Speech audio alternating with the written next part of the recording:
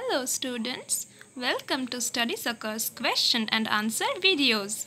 My name is Shibadrita and I teach maths and science at Study Succour. So, let's have a look at this very interesting question from class 8 ICSE concise book chapter Force and Pressure back exercise question number 1. The question says find the moment of force of 20 Newton about an axis of rotation at a distance of 0.5 meter from the force. So let's move to the solution. First we will find out that what are the given parameters to us. So here we see that we are given force and a distance from the axis of rotation.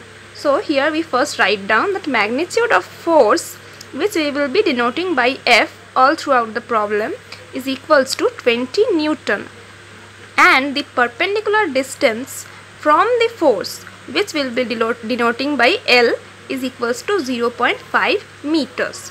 Now we know that moment of force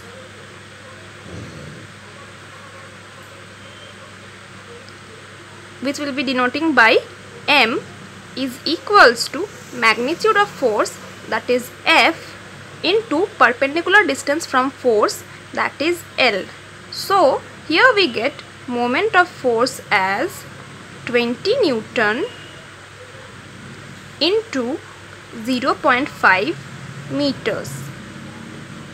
So we can write 0.5 meters as half.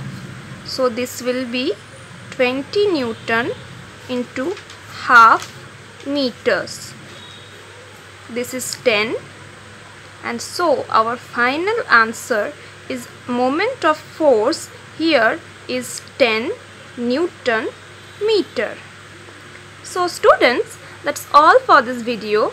All my solution PDFs as well as video classes are available on Study website and in study notes and solutions website. Link in description. Do like this video and subscribe our channel and don't forget to send this to your classmates. Thank you.